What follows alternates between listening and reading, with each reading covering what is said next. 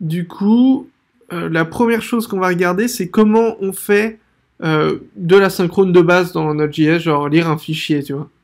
Mhm. Donc, euh, avec file system. Genre, tu fais require fs, le truc du file system, fs égale require fs, fs, voilà. Et là, tu vas essayer d'afficher le contenu. euh, du fichier, même index.js, il peut Ouais, ouais, de lui-même. ouais, y a pas de problème. D'accord. C'est quoi C'est read file du coup? Ouais, fs.readfile. Est-ce que je mets ça dans une nouvelle variable Non, t'as pas besoin. Ah, tu, direct on va juste vouloir le console log pour le moment. Donc fs.readfile Ouais, index.js. ouais. Il faut lui dire en euh, UTF-8, sinon il va t'afficher un buffer. Et euh, vu que c'est c'est des callbacks, vu que c'est asynchrone. Ah, Bah, fais-le ah, en synchrone. Du coup, tu mets sync devant. Euh, voilà. Ouais. Ça, ça marche. ça, ça on va teste. fonctionner. Je teste pense, quand ouais. Voilà, il nous il s'affiche affiche le fichier. Et si on enlève le signe, qu'on entre dans le monde de la synchrone. Voilà, donc ça là, il va- ça veut dire. Ça veut dire que readfile renvoie quoi Une Je fonction pense, je pense que tu vas même avoir une erreur où il va te dire euh, que t'as pas le droit d'utiliser un truc asynchrone sans promise, sans, sans callback. Ouais, et il nous a log undefined. Donc notre fonction nous retourne rien. Tu vois? Ouais, Notre fonction nous retourne rien, c'est pas comme ça qu'on l'utilise. mais euh, parce que le, le undefined c'est bien le retour de la fonction, donc il y avait rien. Donc du coup il faut que tu mettes virgule. Si tu mets virgule et là que tu mets ton console log en dernière, la, le, comment marche la synchrone, euh, les callbacks dans Node.js, Ah, c'est toujours Donc readfile prend un troisième argument, Voilà. ça? Et ça, c'est ta fonction. fonction qui reçoit comme argument. Donc là, je... Là, tu peux mettre juste console log, ça devrait marcher, ouais. On lève le. qui con- reçoit comme argument le résultat. Bah, on va voir, du coup, vu console log, il affiche tous les arguments qu'il reçoit. Ah, mais il le gère différemment. Il reçoit deux trucs, tu vois. Il a un premier truc qui est nul. Et après, il, a, il affiche le texte. Mais il l'a pas affiché pareil parce que vu qu'il a. En fait, son Node.js, console log affiche pas de la même façon s'il a juste un élément ou s'il y en a plusieurs. Pourquoi? Hmm. Je ne sais Est-ce qu'on pas. peut pas sélectionner pour dire que console.log reçoit que le deuxième... euh, Bah, mets la vraie fonction. Ah. Donc la fonction reçoit deux arguments, à ce qu'on voit, au moins. Donc, Donc- je, je mets le nom d'une fonction plutôt là? Ouais, voilà. Donc, Funk, t'as- t- bah, fais-la en arrow. Ah, on la met directement. Ouais, mets-la dedans. direct, fais-la en, en donc parenthèse. Donc le Euh. premier élément que tu vas avoir, c'est l'erreur, parce qu'il faut gérer les erreurs, en fait. Si jamais tu as une erreur, comment elle arrive? Faut que tu le saches. Ok, et ça, Et ça va être le résultat. et après, coup, t'as le résultat, voilà. Résultat Ouais, si tu veux. Ok, Donc là, une tu la flèche. Accolade? Ouais, tu peux mettre des accolades, et puis là, tu peux afficher le truc. Et là, je peux faire console.log de résultat. Ouais, voilà. Et comme ça fonctionne, ça va marcher. Ouais. Ok, exact. On a Donc- exactement le même résultat. Tu vois à peu près Et Si la... j'affiche erreur, on retrouve notre, notre ami le nul du coup. Voilà. Ouais, nul. Voilà. Parce qu'il n'y a pas d'erreur. Donc c'est comme ça que marche la synchrone dans Node.js par défaut. Toutes les On fonctions une- de fon- reçoivent une deuxième fon- une, une fonction en dernier argument qui a comme Mhm. spécificité d'avoir une erreur comme premier argument. Toujours le premier argument c'est une erreur. Sinon, la suite des enfin, les arguments. Et euh, sinon voilà les, le reste qui ce qui a réussi. Quand ça fonctionne. Voilà. Est-ce que je peux, là j'ai envie de découvrir un peu, de provoquer une erreur Vas-y. J'ai envie de voir ce qui se passe. Si jamais je mets index Voilà. avec 3x parce que j'aime bien le xxx. Ok. Oh. Coquin. Donc là du coup notre résultat il nous a log undefined et on a notre erreur On a sur une euh, erreur détaillée qui est un objet, c'est ça C'est contient en fait différents- les, les erreurs, c'est toujours des objets qui sont construits avec euh, l'objet error de JavaScript. Faut toujours en JS, faut toujours retourner comme erreur un truc qui est construit avec euh, error. Error. New, new error, non? Comment on fait? Euh, On fait une erreur. euh, oui, c'est un, bah tu peux, t'as pas besoin de new, mais tu fais error, ouais. Ah, juste erreur, ok. Ouais. Et là, du coup, le résultat est undefined, il a rien mis dans, dans result, Voilà. il y a une erreur. Donc tu vois, c'est un peu chiant parce que tout est mélangé, c'est-à-dire que t'es obligé de traiter tes erreurs au fur et à mesure, de les faire passer. Enfin, ça devient vite compliqué quand tu. Bah, du coup, attends, si je fais une comparaison par rapport à sync, euh, sync, qu'est-ce qui se passe quand il y a une erreur avec sync Ça renvoie une erreur immédiatement. ça va throw c'est en fait, ton programme va throw. Ah, il faut catch pour récupérer l'erreur, donc Ouais. c'est ok. Oui, donc il n'y a pas d'avantage à utiliser d'asynchrone actuellement, finalement. Pas tellement. Euh, bah pour un seul truc, non. Parce que, mais c'est quand tu vas avoir plusieurs trucs en parallèle que, Qui, s- ok, qui s'enchaînent. que ça devient important. C'est quand quelque chose, par exemple, a besoin de, de ce read file, euh, bah, par exemple cette fonction, quand elle a Ouais. besoin du read file. euh, si tu bloques, vu que JS t'as qu'un seul euh, thread, si tu bloques, ça devient très vite la merde, tu vois. Si tu bloques. Ah oui, tu veux dire que. Ok, si tu bloques ça, par exemple, il est en attente. Si t'es en sync, du- d'un événement. si t'es en qui est sync, en dessous, ça. ouais, voilà, si t'es en sync, il attend. Alors que quand t'es en asynchrone, Ah, par contre, avec il attend pas. là, c'est instantané. oui, voilà. C'est-à-dire que, que ça, que ça réussisse ou non. Ouais, voilà. D'ailleurs, mets un console log après, genre, euh, et t'écris, je sais pas moi, point euh, fini. Bah, tu vas voir, il va t'afficher ton fini avant ton erreur. Exact. Ah oui, donc c'est ça l'intérêt de la synchrone. Voilà. C'est que les choses s'exécutent que quand il en a besoin. Quand, quand Voilà. t'es, quand t'es les dans, ouais, voilà, quand t'es dans la synchrone, en fait, tu, tu commences à dire comment tu vas vouloir que euh, ton programme réagisse une fois que les informations sont revenues. Donc, du coup, tu fais que lui décrire le comportement qu'il va devoir avoir dans le futur. Mais Ok. t'es pas en train d'écrire réellement le, le code qui est exécuté euh, de manière linéaire plus Ouais, c'est traditionnelle. pour ça que j'ai peut-être un peu galéré, c'est que du coup les choses s'exécutent pas forcément dans l'ordre. Ouais, les choses s'exécutent pas dans l'ordre. Ouais. comprendre ça. Ok. Tout ce qui est dans les callbacks, ça va s'exécuter après. Donc là, imagine, euh, je vais te donner un petit, je vais te demander de faire un truc juste comme ça avec les promises, enfin sans les promises, juste avec les callbacks. Sans, ouais. Tu vas me créer quatre fichiers Ouais. qui vont s'appeler euh, 1, 2, 3, 4 et qui vont contenir euh, le contenu euh, ABCD. Ok. Et, euh, Donc et à l'intérieur de... Une fois que tu auras fini de créer tous ces fichiers, qu'une fois que tu auras fini de créer tous ces fichiers, tu me dis euh, j'ai fini. d'accord. Je peux mettre mon fini du coup dans le read file? Tu peux, mais t'as pas besoin de read file là, faut juste créer des fichiers. Ah, euh, tu veux que je les crée? Il est plus question de. D'accord. Ouais, Donc fs. Ça va être write file du coup. ouais. Il a toujours besoin d'un nom, je suppose. Faut que tu l'écris, ouais. Le Hein, UTF-8, est-ce qu'il en a besoin ouais, bof, c'est pas Ouais. obligé. mais- Il faut lui passer le contenu par contre, parce que là je crois que le UTF-8 il va croire que c'est ton contenu. D'accord, donc je peux mettre euh, blabla. euh, J'ai dit A, B, C. D. Mais euh, tu- Ah, pardon. Non mais genre, CD. 1 ce serait A, 2 ce serait B. Ah oui, ok. Un A. Et je ferme là, il n'y a plus besoin de rien. Bah t'es toujours obligé d'afficher un log pour traiter ton erreur. Si tu mets pas de callback, il va pas être content.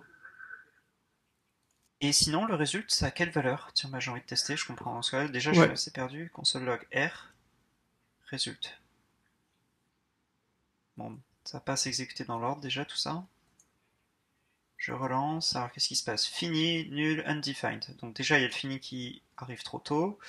Pas d'erreur. Et résultat, il reste undefined. Ouais. Donc, le callback, c'est juste pour gérer l'erreur, là Ou pas? Ouais, le callback c'est juste pour... Il te dit qu'il a fini. C'est tout. Hmm. Bah oui, puisque écrire, euh, je mets la donnée ici, donc on la récupère pas ailleurs, quoi. Euh, hmm. Donc, à savoir, dans dans ma consigne, je te demanderais de ne, pas, de ne pas créer un compteur qui compte jusqu'à 4 pour savoir que t'as fini, tu vois. Oui, bien sûr. Donc, 2, 3, 4, B, C, D, c'est ça? Ouais, ouais, voilà, il va te les créer tous. Là, Ok, ta, ta difficulté, c'est de savoir quand est-ce qu'il a fini pour log après tout. Les 4. Bah du coup, sans repasser en synchrone, sans utiliser le sync, hein, c'est ça? Oui, bien sûr, oui. Est-ce que, ce serait, est-ce que tu serais pas en train de vouloir m'introduire, euh, je sais que t'aimes bien ce mot, le fameux zen?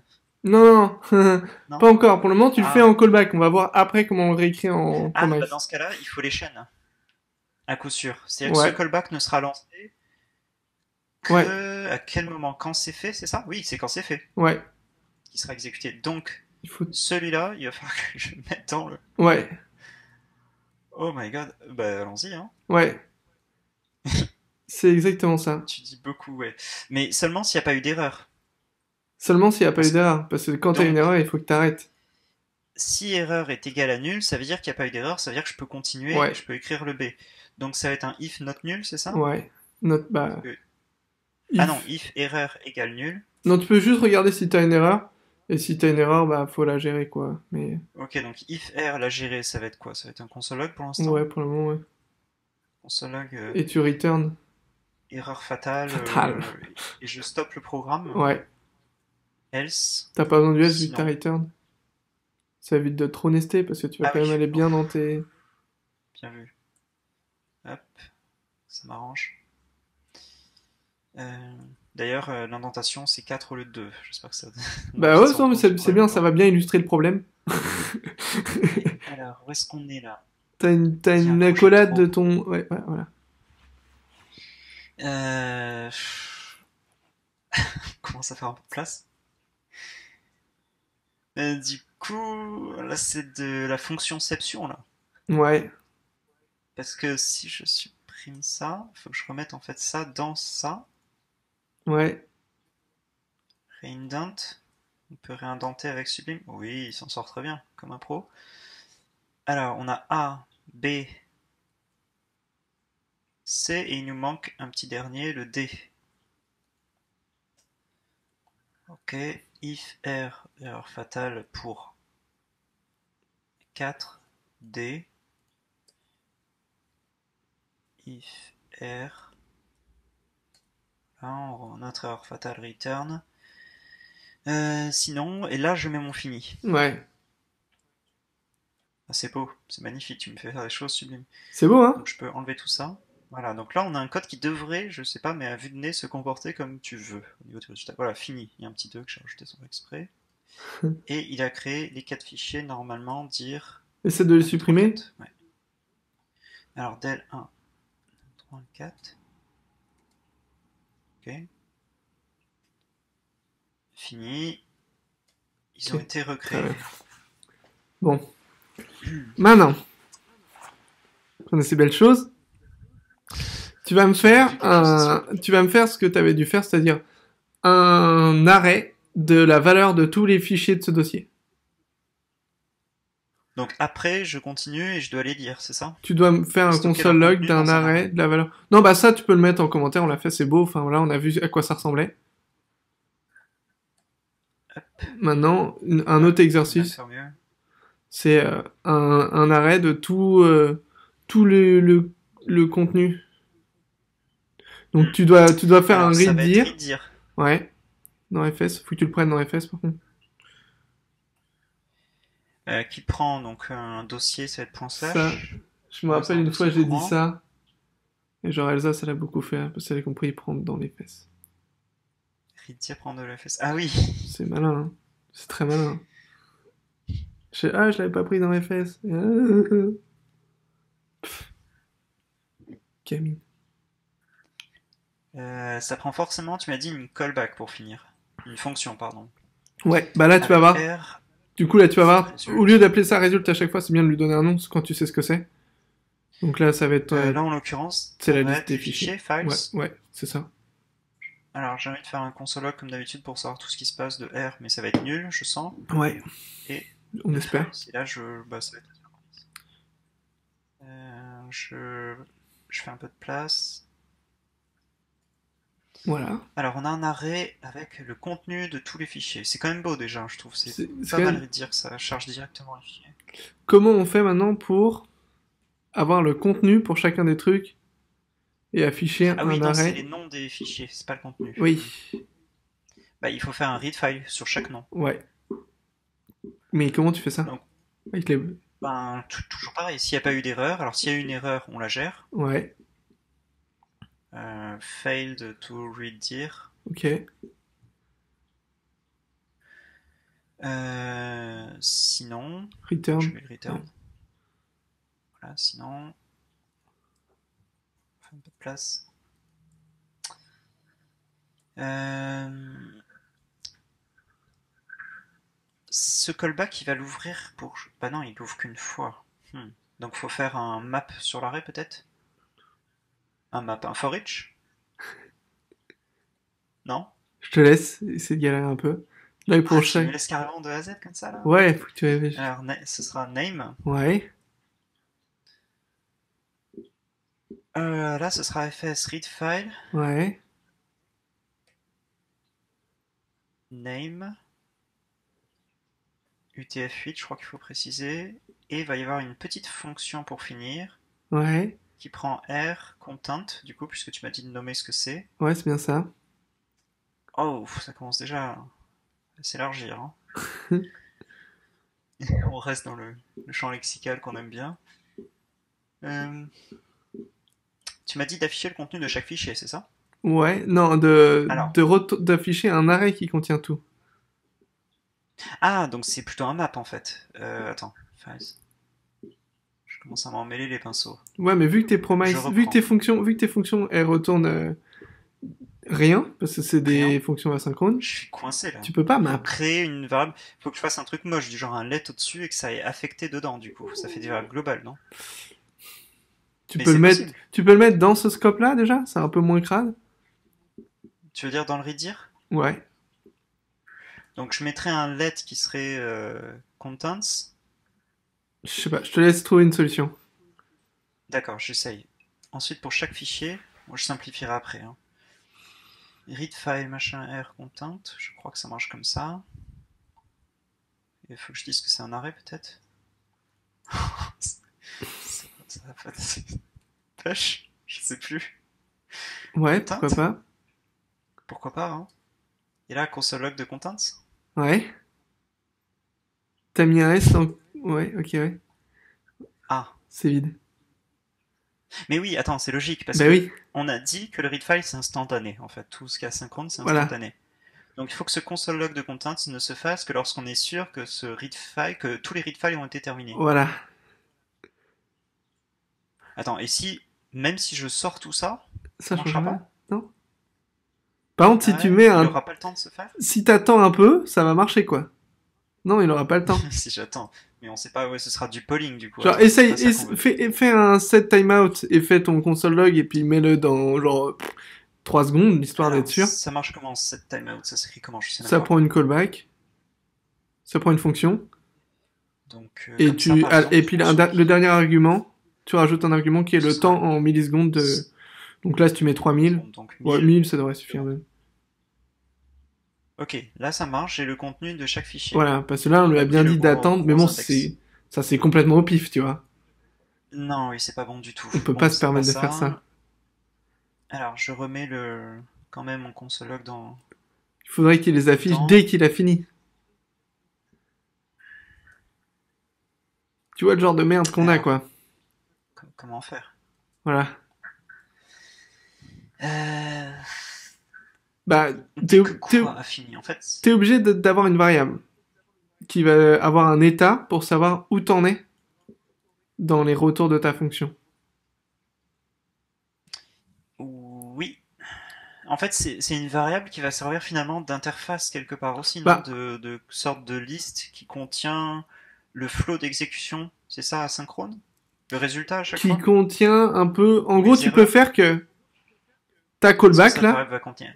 Ta callback que t'appelles euh, ici qui contient le content et qui fait content push content, tu vois, Ouais, ici, Bah, cette callback là. tu peux faire que cette callback, il faut pas, euh, il, il se passe quelque chose une fois qu'elle a été appelée, le nombre de fichiers qu'il y a dans tout. Je n'ai pas compris. Bah, on sait combien il y a de files, on a file.length. Il y en a. Oui, Donc, on peut se faire un, on peut se faire une petite variable qui va contenir un, compteur, un count, ou, ou le content en fait. On peut regarder là, combien de combien de trucs on a de contents. Genre tu peux faire Directement. putain, if contents.lngth triple Ah égal oui, d'accord. Égal 4. Attention, c'est TH. files.lngth Eh non. J'ai acheté. Ouais, TH.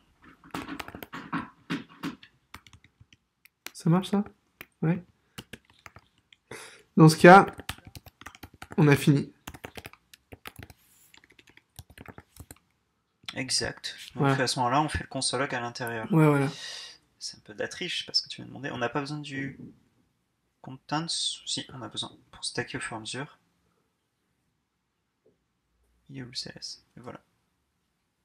Truc dix fois plus vite. Ok, ça marche aussi. Donc là, ça marche. Euh, Maintenant, Tu voulais qu'il écrit fini peut-être à la fin, non? Maintenant, non, en fait, maintenant, ce que j'aimerais faire, c'est avoir une fonction que je puisse appeler, qui va me retourner, en fait, tout le contenu des fichiers, Qui retourne contents. qui me retourne contents. Donc comment tu peux wrapper tout ça dans une fonction et faire qu'on l'utilise? Parce que là, là c'est clair que si je mets le return là, ça marchera pas. Oui. Ça fait le return pour une fonction, ça va foutre le bordel et ça ne fera pas une. De toute façon, là, faudrait peut-être la déclarer la fonction parce que là, je fais un appel Oui, direct à faut que tu la déclares et tu l'appelles déjà. Donc on lui passe un nom de dossier juste, et il nous retourne un arrêt, enfin, il nous retourne. Ouais. Il- Alors on peut appeler ça euh, read contents finalement, c'est Ouais. pas read dire, c'est Ouais, read, dire content. je sais pas trop. Ouais, bon, si tu veux, Dire contents. pas très important. Il prend un argument, enfin, Ça combien, d'arguments on a besoin en fait? Vu qu'on fait, vu que Ah, c'est ça- un truc asynchrone, on a besoin de deux arguments. On a besoin forcément de la callback. Ah, erreur et dire. ça Non, Non. Ah oui, c'est l'implémentation là. Ouais. Ah, alors, c'est tout ce que ça prend? Du coup, ça va prendre le chemin et la callback. Donc paf ou dire Et puis callback, on dit CB juste. CB. Voilà. Euh... Donc, faut que tu reprennes ton code au-dessus. mhm. Je le mets dedans Ouais.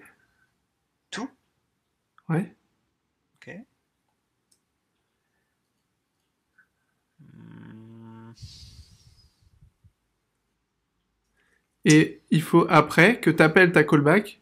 Soit tu as une erreur, il faut que tu l'appelles avec l'erreur. Donc la première erreur là par exemple. Alors, Au lieu de au lieu de console log et de return. Ah oui, c'est comme ça que ça marche du coup. Voilà. J'écris une fonction asynchrone en fait, c'est ça. Là, tu es en train d'implémenter toi-même une fonction asynchrone à l'ancienne. Ok, d'accord. Donc, si j'ai eu une erreur, je fais quoi? Je return euh, l'erreur J'appelle CB avec une erreur? Tu appelles CB avec erreur juste. C'est-à-dire que le premier argument de la callback qu'on va te passer, ça va être l'erreur. Et je return ensuite du coup? Ouais, euh, Non. CB return. CBR. voilà. Tu peux faire comme ça, genre Putain. juste, juste histoire de... Ça c'est pas important, la valeur de, de retour est pas utilisée en fait. On peut faire juste... Ce qui est un peu plus léger quoi. Hmm, Sans avoir Oui, besoin mais une du... fonction asynchrone ne renvoie rien normalement. Oui, oui, mais euh, ça retourne rien Si vu que CB il retourne rien. Si tu veux, tu te sers de Ah return oui, comme CB shortcut, ne c'est pas... retournera rien non plus, donc on Oui. retourne rien. Ok, ça fait une opti. Enfin, c'est pas mon opti, mais c'est juste... c'est- C'est plus clean quoi. Plus Vu qu'on le fait, vu qu'il y a souvent ce pattern là, c'est voilà. Donc si on est là après, ici, ça veut dire qu'il n'y a pas d'erreur. Ok, ça veut dire que moi, je vais appeler CB euh, Mais il faut que, Non, CB, en je fait, quand là t'es emmerdé parce que il faut que si t'es une erreur en lisant un fichier, tu t'arrêtes. Donc on retourne avec le, le R, c'est ici finalement. Ouais. Je- D'ailleurs, je ne pas les erreurs là. Le problème c'est que le, R, le problème c'est que là il va continuer vu que t'es dans un for each. Ah oui, ça n'interrompt pas du tout, et oui. Et il y a un autre truc qu'il faut Ça que tu fasses super attention quand tu crées tes fonctions asynchrones, c'est que callback, faut être sûr de l'appeler qu'une seule fois. Parce que le mec En s'attend, te fait confiance pour que tu appelles la Oui. fonction qu'il t'a passée qu'une seule fois. Tu vois. Alors là, je vais l'appeler euh, autant de fois qu'il y aura d'erreurs dans les trucs. Ouais. euh, maximum de 5 fois. Et c'est pas bon. C'est pas bon, non Euh, comment je fais alors? Euh, Je suis un peu coincé là. Euh, attends, faire preuve d'imagination. Non, pareil, je peux utiliser un state dans la fonction du coup. Ouais, Non tu peux faire un S'il y a une state, erreur, j'interromps et, et je set un booléen par exemple que je récupère Ouais. ensuite. un truc comme ça. Ah oui, mais que je récupère ensuite. Non, je tu l'as, du polling encore une fois. tu- pour- tu l'as dans tes callbacks. Mais ouais. Hmm? Tu peux vérifier, tu peux vérifier que la callback ait déjà été appelée ou pas. Mais Ah non, ça va être monstrueusement galère. Oui, ça se fait, mais alors ça va être. euh, tu peux faire une boucle, une vraie hein boucle plutôt qu'un for each, et comme ça l'interrompre. Mais Ouais, il n'y a pas le choix. hein, ça. c'est encore pas ouf. Mais bon, si c'est ce qu'il faut faire. Alors, euh, Tu vas avoir d'autres problèmes. Donc je fais un- une boucle, ouais, un petit for, du coup. Ouais, si tu veux. C'est comment For Ça va être let i égale- non, non, tu peux juste faire for let name of. Ah, je peux prendre carrément la variable ouais, files off, files. files. Ouais, voilà. D'accord. Ok, on a une boucle for. Ouais. Mon dieu. Donc là, ça va être fs read file euh, que je récupère. Si je Ouais, mais en fait, si tu penses, si tu les fais toutes en même temps, parce que là, en gros, notre for each, il lançait les lectures en parallèle. Oui. Ah, il faisait ça en parallèle, Oui. sûr Bah oui. Il les lançait toutes à la suite, mais elles allaient se lancer en même temps, en fait. Vu qu'il attendait pas la réponse, ça se faisait en parallèle Oui, très ces rapidement. lectures. Mais là aussi avec le for, non? Le read file. Oui, mais du coup, ça change pas notre problème. Ça veut dire qu'on va faire, on va tous les call. Ah oui. Euh... Si, on peut quand même interrompre cette fonction du coup en euh, n'appelant CB qu'une seule fois. Ça résout une partie du problème, non? Parce que là, le return va fonctionner, ça va interrompre le flow. Non. Parce que ton, Ah ouais. return, il est dans ta callback. Exact, exact. Ah oui, on est dans une fonction. Là, là ici, on est dans une fonction. Ouais. On n'est plus dans redirect condense aussi, mais on est surtout dans, dans la fonction anonyme qui est passée à readFile, Exactement. Dans le troisième argument. Donc euh, le return, ça marchera pas non plus, donc on a le même problème. On a le même problème. Ok. Bon, bah c'est dur la synchrone, hein, ouais. quand on fait la main. Juste pour être sûr, qu'est-ce que tu attends de moi là? Tu veux quand même que j'y arrive? Sérieusement? Tu veux que je trouve une technique? Ouais. Ah, tu veux que je fasse preuve d'imagination, que je pense en dehors de la boîte et que j'y arrive? Ok. Ah, je pensais que je pouvais me reposer un peu, moi. Non. Falloir que je réfléchisse. Ok, ça marche. Bah, si veux, je peux, je peux, enfin, Non, vu non, que c'est encore, je peux t'aider un peu, mais. Alors, c'est juste que je vais peut-être prendre du temps du coup. Ouais. Tu Euh, feras des cuts c'est pas mon genre. quand je trouverai Faut, la... faut que les gens y réfléchissent en même temps, ça leur fait un petit exercice. Donc je vais avoir 5 appels à readfile. Avec ça, je ne peux pas interrompre le truc. Je peux faire en sorte que readfile... Ah bah c'est tout bête en fait. Euh, Je peux stocker l'erreur. Ouais, je peux stocker l'erreur et la renvoyer à la fin s'il y en a eu une. Ouais. C'est ça? C'est une, technique, ouais. Donc readfile r content if r euh, oula non on va se mélanger là global r Euh, Ouais. C'est ah, encore un autre problème, t'as- T'as plein d'erreurs à chaque fois, tu vois. Cela, en fait, t'as déjà deux R qui s'écrasent. T'as la première erreur r oui et t'as la deuxième de la callback, tu vois. mais c'est pas grave parce que là ce r je veux vraiment que ce soit le tout premier qui trouve c'est sûr Ouais. ça fonctionne if r euh, alors internal r égale r donc je la sors de la fonction Ouais. et je fais un petit return pour interrompre ce read file pour pas aller plus loin Même si c'est le dernier, du coup, tu vas rien. Tu vas pas appeler ta callback. Si c'est le dernier, tu ne vas pas appeler ta callback, c'est-à-dire. Bah, il faut bien que t'appelles ta callback à la fin. Donc, ça veut dire que. Read file Bah, forcément, ouais. C'est une fois qu'un read file. a- C'est quand le dernier read file aurait été exécuté qu'il faut que t'appelles ta callback. Oui, Si jamais mais ça, le- je le rajoute après la boucle fort. Non. C'est possible, non? Bah non, parce qu'elle est synchrone, la boucle fort. Ah oui, tu veux qu'on garde le comportement asynchrone. Donc, ok, donc c'est dans le read file qu'il faut que je fasse un appel. Oui. ACB. Là, tu peux. Si jamais t'as pas l'internal erreur, là, tu peux appeler ta callback avec l'erreur. Ça, c'est fini. Tu peux pas annuler l'exécution des, des, euh, de la lecture des fichiers parce que t'as déjà commencé à lire les fichiers, mais tu peux déjà dire à l'autre que c'est mort, il aura pas les fichiers, c'est une erreur. Alors attends, déjà on enlève le console log peut-être ici If machin Bah, t'en auras besoin de Il a ça. rien à faire dans le read file, celui-là. Si, Si. parce que c'est lui qui te dit quand t'as fini. Oui mais, oui, mais pas dans chaque read file, si je dis pas de conneries. Mais si. Ah si. Après Si, c'est chaque obligatoire. fichier que t'as lu, tu dois vérifier est-ce que je suis rendu à la fin? Si oui, bah, il faut que tu, tu vois le truc. J'appelle CB quoi Avec, Ouais. c'est ça? Ouais. Comme ça Euh, Non, parce que là, vu que tu mais l'as mis alors, comme premier argument, il va croire que c'est une erreur. Ah oui. Donc que tu le mettes en deuxième. Nul, virgule, voilà. Par contre, donc là, le problème qu'on a, c'est que s'il y a que des erreurs à chaque read file, CB ne sera jamais appelé, c'est ça? Notre callback ne sera jamais appelé s'il y a que des erreurs, si je comprends bien. Puisque tout ce que je fais, c'est set une variable. Euh, donc... Donc il faut quand même que je dise où j'en suis à un moment, quoi. Faut que je le sache. J'ai pas juste le content à stocker, j'ai autre chose. Non, pas forcément. Plus de son, plus d'image. Non, non, on t'entend, c'est bon. Non, j'ai reçu un Ok. SMS. Tu, tu, tu peux juste. euh, Non, tu peux juste vérifier est-ce que tu as déjà eu une erreur? Et dans ce cas, au lieu de return, il faut que tu appelles ta callback avec l'erreur. Enfin, ton return, il faut que tu return euh, CBR. Ici, CBR. Ouais. Et Mais, ensuite, mais au, return? lieu de rega- au lieu de regarder l'erreur, tu peux faire ça. Je vais faire un peu du.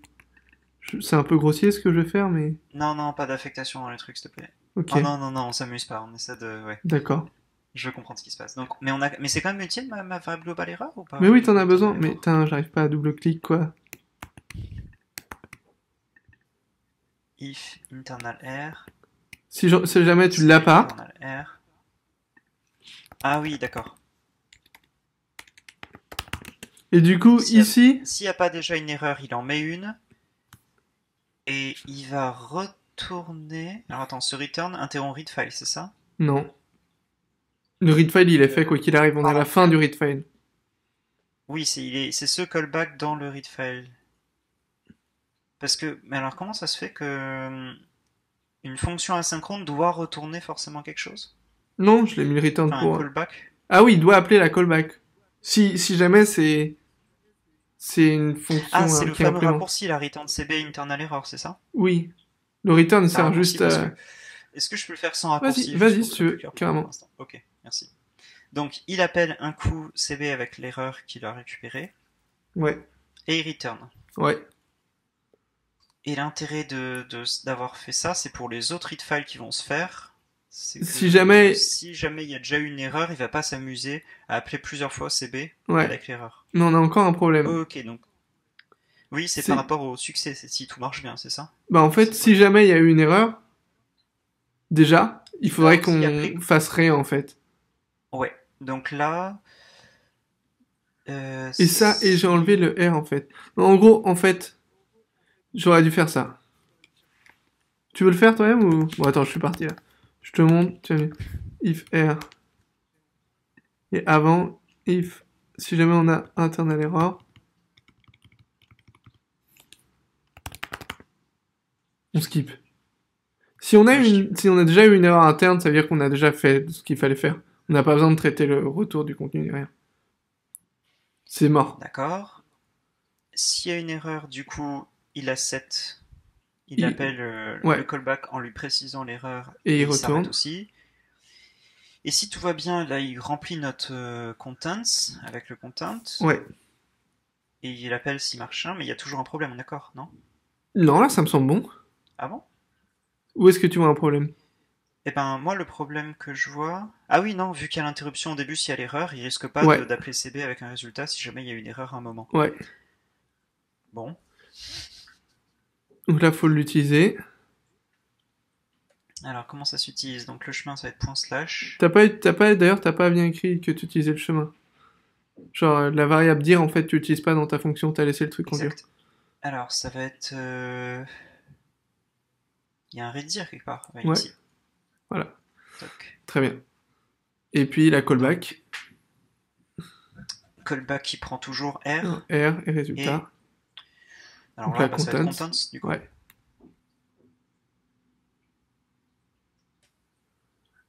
Console log.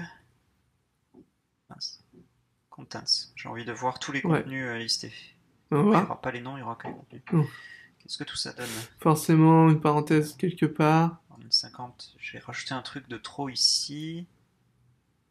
Euh, Il manque la parenthèse qui ferme l'appel de read file. Voilà. Celui-là, il est où? Non, celui-là, il était bien, tu l'as enlevé, mais il le fallait. C'était le truc qui fermait le for off. Voilà. celui-là, ouais, ok, on y est. Voilà, Ça marche Très bien. toujours pareil. ça marche.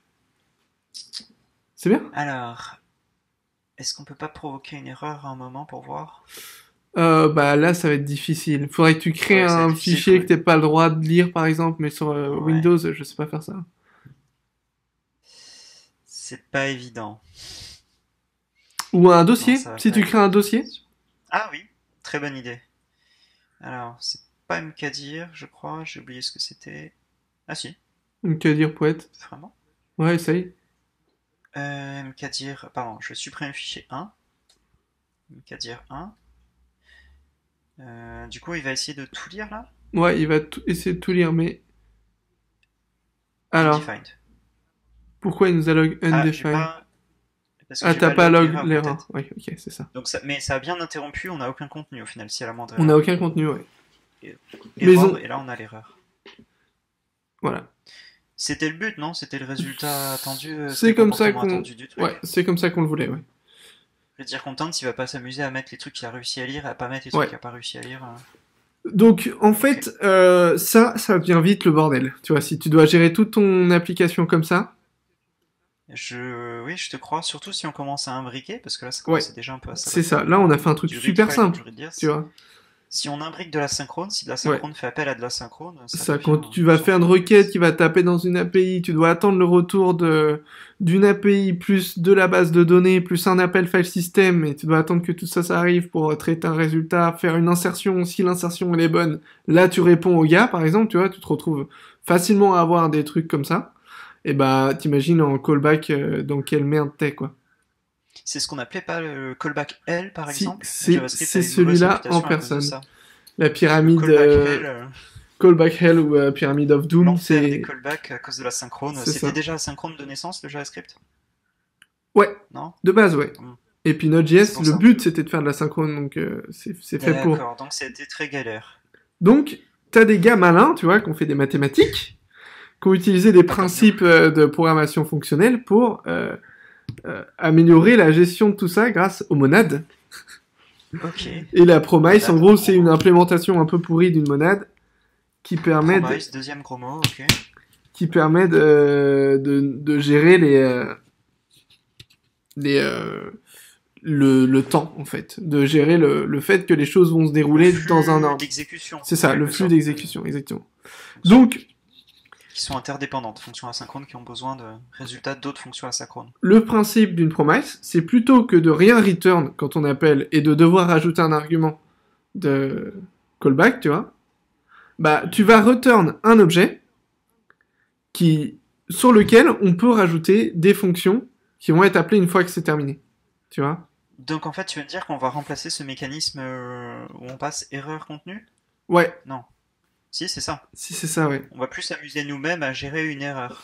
Ouais, Enfin, on va plus s'amuser nous-mêmes à gérer le fait de... On va abstraire le fait de gérer la callback, gérer le, retour d'erreur, etc. d'accord. Est-ce qu'on peut du coup euh, essayer d'introduire les promises en refaisant l'un ou l'autre?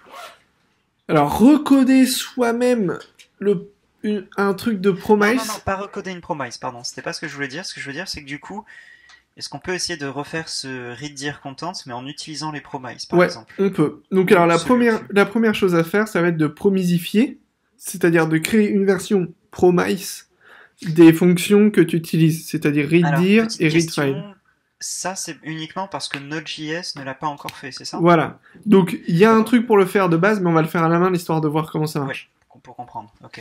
Donc Peut-être que dans le futur, Node.js aura directement les fonctions promisifiées. il y a moyen, euh, il y a moyen. Donc à ce moment-là, on aura trois catégories de fonctions, si je comprends bien. Les premières, les plus anciennes, qui datent du début de l'informatique, sont les synchrones, Ouais, qui se finissent par sync. Ensuite, il y aura celles qui n'ont euh, rien, euh, qui sont les asynchrones. ouais. Et on aura peut-être celles qui auront un autre nom, ou alors ce sera les mêmes, mais qui seront passées en mode euh, promise, promisifié Je directement. pense pas qu'ils vont les passer promisifiés direct, ils trouveront un truc. Je sais pas comment faire. Bah, pour le moment, il y a l'API de promisification et. Moi, je pourrais te montrer une astuce plus tard pour le faire facilement. Ça se fait, ça se fait assez. euh, T'as pas vraiment besoin qu'il y ait une API, mais bon, euh, tu verras. Mhm. Euh, L'idée, Ah, la, donc, la preuve, c'est que là, on va, on va le faire finalement. On va là, promisifier à la main. on, on va le faire nous-mêmes. Donc, on va faire euh, dans une, euh, vari- une variable readdir qui va Mhm. émuler readdir. Donc, const, t'as écrit console. Oups, un réflexe. On prend le même nom, on écrase son nom ou? Ouais, parce qu'elle est dans FS, donc readdir n'existe pas. Ah oui, je suis bête. ouais. Readdir, et là, ce qu'on va recevoir, c'est juste les arguments. De readdir, normal. Alors les arguments de readdir normal, c'est quoi? On ouvre la doc? Bah ouais, tu peux regarder la doc, ouais. Très pour voir. Très bon Alors, réflexe. Node.js, readdir. file system, redir, voilà. Alors on a PAF option callback. Ouais. Bah du coup, pas la callback. Ils aiment bien mettre des trucs en toutes lettres. Du coup, on n'a pas la callback. On la met pas? Non. Ah, On parce en que a pas besoin. Et là, on va retourner Oh, bien. une pro- new promise.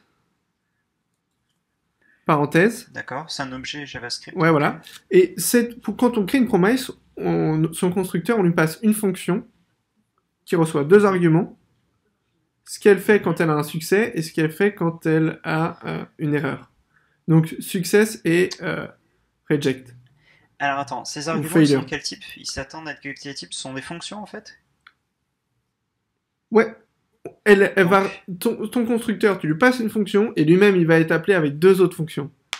Qui est celle que tu vas appeler une fois que tu as terminé. Ouais, c'est un peu. euh, Ah, c'est puissant. Alors du coup, par convention, on appelle comment? Pas Alors, la vraie convention, c'est euh, resolve et reject. Resolve, reject. Voilà. Donc ce sont deux fonctions. La première s'appelle en cas de succès, c'est ça? Ouais. En cas de succès. Celle-là est appelée en cas d'échec. Voilà. Mais le truc, c'est que vu que dans les callbacks, on met toujours l'erreur en premier et que là, le reject, il est en deuxième, à chaque fois, je m'embrouille. C'est inversé. Et que resolve et reject, ça fait ré, ré, tu vois, je m'embrouille facilement entre les deux. Surtout Moi, je les appelle- ailleurs en plus. Je les appelle success failure, personnellement. Ouais, ben je préfère ça. D'ailleurs, dans mon code en C, c'est ce que je mets. euh, je mets, je Parce que je trouve ça, je, le, je le marque mieux, quoi. Bon, c'est, mais la convention, c'est resolve, reject. Bref. Alors, je Là, sais pas si j'ai bien fait. Si, hein, c'est très ça. très bien, très très bien. Euh, là, on va faire notre appel à euh. FS du coup. FS, redir. On va lui passer nos arguments. Alors, Passe- paf option, option. et la callback. Qu'est-ce qu'on lui donne La alors callback, on l'a créée là à ce moment-là. Ah oui. Donc, Et tu reçois prend R. Error et le résultat. Et- Le résultat, en l'occurrence, ça Ouais. va être euh, redir, ça va être les names. Bon, ouais, names ou files, comme tu veux. Ah oui, Ensuite. files. Ou file names. Ouais, ça c'est correct. Et Ensuite- l'encodage de mouche, c'est très important. Là, si jamais tu as une erreur, tu retournes Euh. failure avec l'erreur. Donc, j'appelle la fonction C'est ça, failure en lui passant exactement. l'erreur. Sinon. Et si ça fonctionne, j'appelle success avec en lui passant file name, c'est ça? Voilà. Et en fait, le fait que tu sois dans une promise, tu peux appeler failure success autant de fois que tu veux, ça s'arrête au premier. Donc t'as pas besoin de gérer tout ça, Oh. c'est géré pour toi. Donc ça fait un automatisme, ok. Voilà.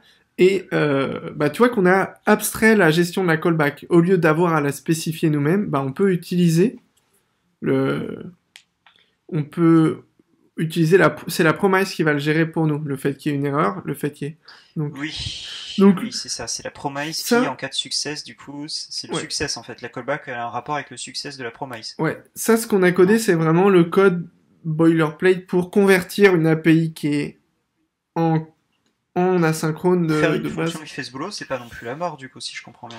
Voilà, ça c'est possible de te faire une fonction qui te le fait automatiquement. Mais en fait, tu as des fonctions qui vont avoir des trucs, des cas spéciaux. Par exemple, là on a, on retourne que filename, mais t'en as qui retournent plusieurs trucs. Genre, quand tu fais un exec, par exemple, dans notre JS, tu exec un autre fichier, en valeur de retour dans ta callback, tu as std out et stdr. Mhm. Donc, du coup, tu as deux. Donc, il faut retourner un objet où tu les deux trucs idéalement. Oui, si c'est dans un objet, c'est bon, ça fonctionne. Oui, mais de Parce base. il y a plusieurs arguments. Ouais, voilà, c'est ça. Donc, ça veut dire que t'es Ah. es obligé de faire quand même parfois de l'implémenter à la main si tu fais une fonction qui te le fait automatiquement. faire, hein. Voilà. Donc, Promisify de, de Node.js Gère ça. le gère. Gère pour toutes les fonctions de Node.js. Donc autant utiliser ça. Donc, autant l'utiliser, c'est sûr. D'accord, très bien. Cette redir, comment elle s'utilise du coup, cette euh, nouvelle Voilà, redir excellente, excellente question, euh, Xavier. Donc, euh, on va regarder, hein. on va remplacer dans le code au-dessus, là, le premier appel, euh, Ça le premier appel de readdir, on va utiliser notre nouveau readdir, du coup. Ah, tu veux transformer redir contents pour Ouais. ça Moi, je, je préférais garder la vieille version pour l'instant. Ok, voir- si tu veux. Bah alors, tu, fais un readdir euh, content euh, V2, quoi. Ouais. Euh, qui va utiliser ce redir là. Donc Ouais. c'est plus logique peut-être de le mettre au-dessus. Ok. Bah, Voilà, parce qu'on a comme ça, on a FS redir et. ok. euh, Oui, pas forcément en fait. Oui, c'est pas grave. Alors, const redir contents 2. Ouais. Voilà, sinon, on s'en fout. New You- best. Vas-y, mec. Euh, De toute façon, il y a l'autocomplétion, hein, c'est à ça que ça sert. Les gens utilisaient ce texte. Égal. Euh, bah toujours pareil, hein, dire CB Ah, ou pas bah non, plus de CB du coup, parce qu'on va utiliser la promise. T'as plus besoin Que de passer alors, hein Ouais, C'est moderne. ouais. Euh, et là, qu'est-ce qui se passe? Bah là, tu vas juste faire... Enfin, On va utiliser notre truc dire. pour le moment, en fait, pour le moment, on peut pas faire notre truc en promise, parce qu'on n'a pas encore promisifié aussi euh, read file. Donc, avant de faire ça, on va d'abord... Euh, commente cette ligne. On va d'abord faire un appel de read dire euh, promise pour voir comment ça marche. Donc, comment on appelle euh, je veux read bien. dire Je, je vais la redescendre, ce sera plus. Ok, ouais. Hop, euh, la mettre euh, là. Donc, juste appel read dire tout seul.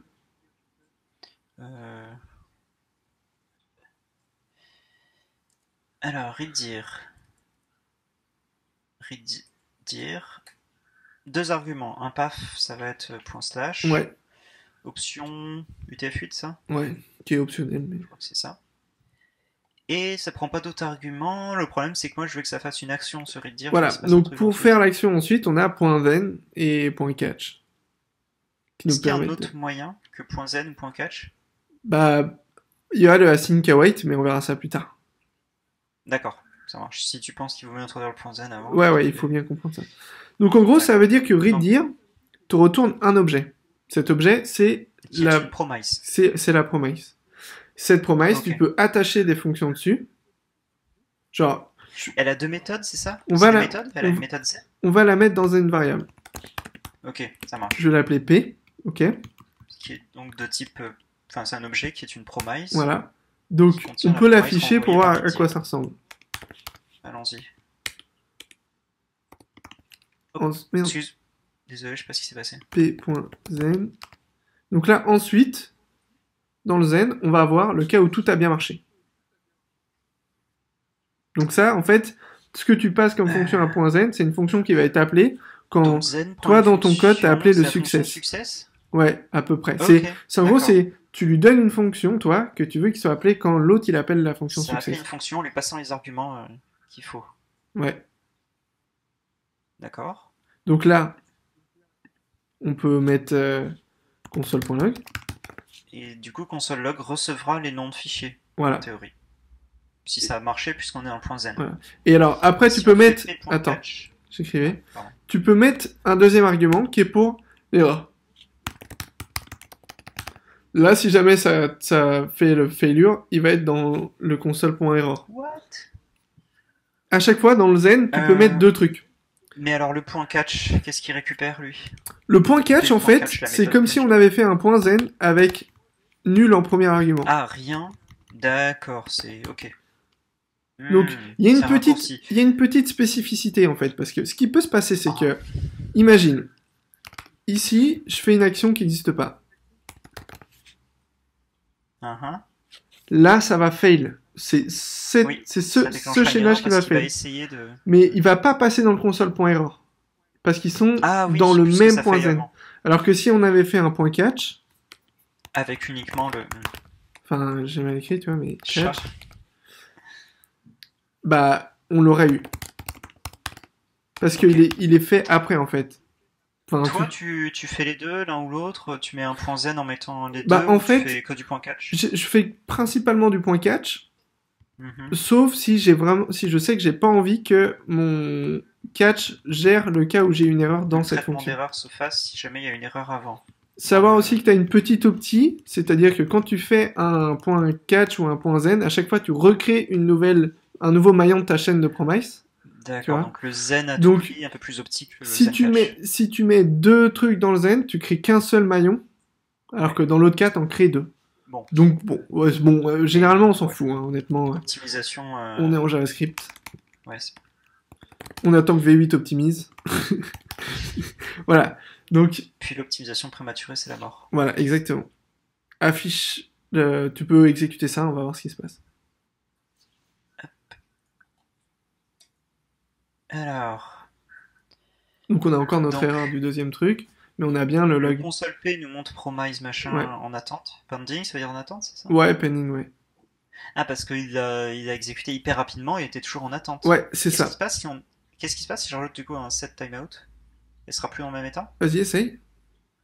Euh, Pareil, une seconde. Ouais, ouais, par exemple. Mais par contre, là, par contre, là, t'as fait ton console log avant. Il faut que tu mettes ça dans une fonction. Ah oui. Ouais, Sauvegarde, test. Euh, Voilà, on voit sa valeur. C'est ça? Non, regarde, le dernier, du coup, c'est le dernier log. Ah oui, c'est le dernier parce qu'il est en retard et du coup on voit ce qu'il y a à l'intérieur. Ah, d'accord, il y a un tableau de valeurs entre autres. Il met pending quand il sait pas encore quelle valeur elle a. Donc la promise, c'est vraiment un truc qui enrobe, tu vois, ton... Les fonctions asynchrones, Ouais, voilà. euh, de, des opérations asynchrones quoi. Ouais. D'accord, alors le point, juste pour reprendre l'affichage, j'avais pas encore tout regardé, donc on a le pending. Ensuite, le console log de P, euh, de le P.zen, ça nous affiche quand ça fonctionne. Mm. Ah, et le console error, comme tu disais, là il fonctionne parce qu'il est dans le point zen, c'est-à-dire que. Non, non, c'est parce qu'on a laissé notre euh, content après, c'est lui. On n'a pas le Ah oui, console.error, il n'est pas appelé en fait. Jamais tu auras le si console.log et le console.error qui peuvent être appelés en même temps. D'accord, ok. Euh, D'ailleurs, readdir. Oui, readdir là il fonctionne forcément, on va pas trop réussir à le faire planter a priori, non. Il n'y arrivera pas. Sauf, mais si, je suis bête, si on lui demande d'ouvrir quelque chose qui n'existe pas. Ouais, Peut-être là il va planter. ouais. Du coup, là, il nous a affiché l'erreur. Ok, c'est le console error qui est utilisé. Voilà. Juste pour être sûr, euh... j'ai juste envie de voir un truc, mess. Hmm, J'ai le droit de faire ça? Ouais, vas-y, vas-y. Error. Plus. C'est plus hein, la concaténation en Ouais, tu ça? peux. Mais après, dans, dans, les, dans les logs, tu peux juste erreur de Bon, point, ça erreur. fait des erreurs qui se dupliquent, mais je voulais être sûr de bien Ouais. comprendre le truc. C'est bien. Ok, donc déjà je pense qu'il faut pratiquer tout ça pour que ça rentre bien. Ouais.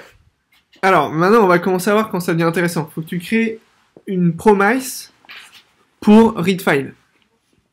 Mais on va le faire en utilisant utile du coup, parce qu'on a déjà vu comment ça marchait. D'accord, donc readdir, est-ce qu'on peut faire un... Pareil, j'ai envie de garder euh, faire une readdir euh, new best buy Je sais pas. Non, non, tu fais, tu, tu, on laisse read dire, tu fais euh, read, euh, read file maintenant pour avoir le contenu. Ah oui, euh, t'as raison, très bonne idée. Donc const read, read file, Ouais. et là on va utiliser l'utile de Node.js. Ouais. Alors, il nous faut, il nous faut ça. Ça s'appelle comment utile? Ouais, utile, il y a le require. Donc, je suppose qu'il y a plein de trucs utiles dedans. Il y a plein de trucs utiles dedans. Ça vaut le coup d'aller regarder un peu ce qui se cache Ouais. dedans, ouais. Utile.promisify. Est-ce qu'on y va d'ailleurs ou pas? Oh, bah, tu iras, tu iras sur ton temps libre. hein. Ouais, ça marche. Alors, comment est-ce qu'on la promissifie? On veut promissifier fs.readfile. Ouais, tu lui, tu, en fait, tu prends utile.promisify, qui est une fonction, et tu lui passes ça, en fait. D'accord. Promisify, voilà. comme ça? Ouais, c'est tout. Ok. Voilà. Là, elle est promisifiée. C'est fait. Ouais. Ok, effectivement, c'est simple. Donc, on va essayer. Essaye de, de lire un fichier avec ce read file. Bah, du coup, je peux remplacer ici. Ouais. Bon, ça fait, ça, fait, ça fait la même chose, ça va déclencher une erreur. Là, ça va être une erreur, mais il faudrait essayer avec un fichier. Voilà. Ah, mais- et si jamais on met un truc qui fonctionne, du genre euh, A, Non, t'as deux, par exemple, mais t'as pas un. euh, 1, Un, c'est un dossier. Euh, ah oui, il y a toujours une erreur. Quelle mémoire tu as? 3 3 existe. Ouais. Et il affiche C. Ouais. Donc, On peut enlever ce console log de P. On a Oui, compris une- on a compris, ouais. Voilà. Donc maintenant, on va faire la même chose que ce qu'on a fait. C'est-à-dire cette fonction readire content ouais, avec nos deux fonctions promise. Promissifier. Ouais. Donc le read dire content be- best by. Fort bien. Le fameux. Euh, du coup, on peut supprimer ce petit test ici. Ouais. P.zen aussi Allons-y. Vas-y, tu peux tout virer. Mais je peux déjà préparer en fait la manière dont on va l'appeler. Ouais, Donc ça, c'était l'ancienne, qui ouais, était appelée comme tu ça. peux la laisser. Et la nouvelle euh, machin Best Buy, elle va s'appeler plutôt. Point slash. Euh, donc elle prend que la directory en argument. Ouais. Point slash. Point zen, du coup, si je comprends bien, puisque ça va renvoyer une promise, c'est ça? Ça. euh, bah, On peut rester dans le même délire, c'est-à-dire que ça affiche euh, le résultat ou l'erreur. Ouais, voilà. Ou alors, si j'ai bien compris, on peut faire juste Console.R, ça log. n'existe pas. Alors, le point, le point catch, Ouais. ça va être où? Après. On indente un coup quand on met Ouais. point zen ou pas? Ouais, ouais. Enfin, moi, je le fais. Catch, console, error. Ouais, ça voilà. D'accord. Euh, Petite question, si on s'amuse à faire ça, qu'est-ce qui se passe? Alors, si t'as une erreur, tu vas avoir le console. Deux point- Non, parce que t'auras une deuxième erreur que si ton erreur de console, le premier console.error, celle que t'as là, elle se throw, mais elle va pas se throw, tu vois. Mais si celle-là est throw, eh ben elle va être catch par celle-là, Ah, elle va être aussi log. Mais bon. catch. Hmm. Et si je mets le catch avant, Ah, en cas d'erreur, là, qu'est-ce qui se passe? et bah pareil, sauf dans l'autre sens. C'est-à-dire que on va avoir le zen. Tu vas tout le temps passer dans le zen. On aura un console log undefined après, si on a une erreur. D'accord. Et ce console erreur, il va être déclenché? Bah que si on a une erreur dans le console log, mais ça risque pas d'arriver quoi. Oui. Console log ne va pas déclencher d'erreur, mais si jamais je mets un truc ici qui déclenche des, genres, Ouais. des erreurs. Donc en fait, ça se suit, quoi. Quoi qu'il arrive, ça Si suit. tu mets un catch, c'est comme si tu avais mis un try catch, donc l'erreur est traitée Ouais. pour lui. Donc du coup, il ouais, Je continue. veux dire, c'est vraiment très linéaire, quoi. Ça suit dans l'ordre dans lequel on. les Exactement, ouais. les zen. Ok. C'est bon, c'est bon à savoir, c'est pas très compliqué du coup. Non, c'est super simple. Alors, la, redir- la nouvelle Redir Content, comment qu'elle se fait Ça, du coup, maintenant que c'est. Donc tu read dire, Dire. Euh, Ensuite. option ETF8. ouais. Ensuite, Si Redir a fonctionné, je fais un point Z. bah la ligne, parce que ça évite peut-être le bordel. Ouais. point zen. Là tu passes. Alors, une fonction. Là tu coup, reçois quoi? Une, je reçois une promise. Non, attends. Non. Non, non, non, pas du tout. Je reçois ce que Redir renvoie si ça a fonctionné. Ouais, Et, Et du Redir renvoie le nom des fichiers, un Ouais. c'est ça. C'est ça? Ouais. Donc, ça va être des file names, Ouais, si je dis pas de bêtises. c'est ça. Euh, ces file names, j'en fais quelque chose? Ouais. Il faut que tu lises le contenu. J'en fais du read file finalement. Ouais. Euh, read file. Ouais, mais il faut que tu le Euh, fasses sur tous. Ah oui. Donc ça va être filenames.map. Ouais. Non, for each. Maps, c'est bien. Je sais jamais lequel utiliser entre les deux. Bah, en fait, Maps, c'est si t'as besoin de faire quelque chose avec le retour. For each, c'est si t'as pas besoin de faire quelque chose avec le Et là, retour. j'ai besoin de faire un truc avec le retour, non Maps, ça transforme. Si, bah si, parce qu'on va devoir attendre que. Ah oui, ren- les trucs terminés. arrêt. Ouais. Non? Oui. L'arrêt du contenu. On transforme en fait les noms de fichiers en contenu des noms de fichiers. Ouais. Donc on a besoin de map. Ok, et donc là, map prendra un file name Ouais. Et ça va faire un read file Ouais. du File name, file name. on UTF-8. peut mettre juste name peut-être, hein, on sait qu'on Ouais. traite de fichiers. Hop là. Names. Pareil, la names, peut-être tout court, faut juste faire gaffe au S. Ouais. Read file names. Alors, En UTF-8. ETF 8. Sachant que là, je crois que c'est bon parce que read. Attends. Hein. Read file, ça va renvoyer quoi là? Bah, ça retourne les promises. Il faut qu'on attende Oui, qu'elles soient finies. C'est. Mais alors, ça va faire un tableau de promise du coup. Voilà. Mais il y a un truc, t'as un outil dans les promises pour attendre qu'un tableau de promises soit fini, parce que forcément ils y ont pensé, parce qu'on a souvent besoin de faire ça. Et c'est le promise.all. C'est le fameux promise.all. Est-ce que est-ce que c'est grave finalement de garder juste un tableau de promise? Parce qu'après, on peut quand même utiliser ça en faisant. Je veux dire, ce point zen n'est exécuté que lorsque c'est terminé, que lorsque le tableau de toutes les promises. Non, Ah, ça reste des promises. ça reste des promises. Il attend pas que tout soit terminé. Il attend que là, en fait, vu que tu retournes un arrêt, Hmm, les promises, en fait, la particularité, c'est que dans le point zen, elles vont attendre. C'est-à-dire que si ici on retourne une promesse, mais exécute ça déjà, qu'on voit ce qui se passe. Euh, Ça marchera pas là. Bah, on va voir ce qui se passe. On a le tableau avec On promise promise. et on a l'erreur. Ok. Parce que t'as mis les deux. Les deux. Pourquoi on a, pourquoi l'erreur? Il y en a un qui fail dans nos trucs. Parce qu'il il fait un read file à un moment sur une directory. Donc t'en as un qui fail dans le lot. Donc on a un arrêt et on a une erreur. Enfin, tu vois, l'erreur elle est pas catch parce que on est sorti de la chaîne de promise là. L'erreur elle est, elle est pas catch parce que Ici, ici, il y a juste un point zen. ouais. Le problème c'est que. Vu que names il retourne pas une promise, ta fonction que tu passes dans ton zen elle retourne pas une promise. Ce que tu lui retournes, il considère que c'est la fin, il utilise ça comme valeur pour dire bah j'ai fini, Ah, voilà, je te donne ça. Or nous il faut qu'on lui dise non, faut que tu attendes que tout se soit passé, Alors. que toutes les promesses soient finies. Donc c'est pour ça qu'on est obligé d'utiliser le promise model. Mais c'est pas ici qu'on le met, Celui-là t'en as Ah. qu'un seul call. Tu lui passes l'arrêt de promise à promise model, donc tu le mets là. Ah oui. Promise. après le map, le résultat du map. Promise.all. Est-ce qu'on peut pas indenter un peu mieux tout ça? Bah, si tu veux, tu peux, mais là il manque une parenthèse. Merde, attends, je voulais déjà finir, mettre ça correctement. Parenthèse finale. Voilà. Donc là, juste vérifier que ça marche. Il y aura toujours un problème. Oui, Donc, voilà. il nous dit qu'il y a un dossier, bah, delete-le, peut-être, Est-ce que je peux? Oui. Euh... au test. Voilà. Ça a pas marché. Non, c'est peut-être pas le bon que j'ai. Ah bah il arrive pas à delete le. Attends, del 1, êtes-vous sûr Dire. Euh, Supprime-le. Euh... MV. Oui, bah oui, allons-y. Hop, Hop, voilà. voilà.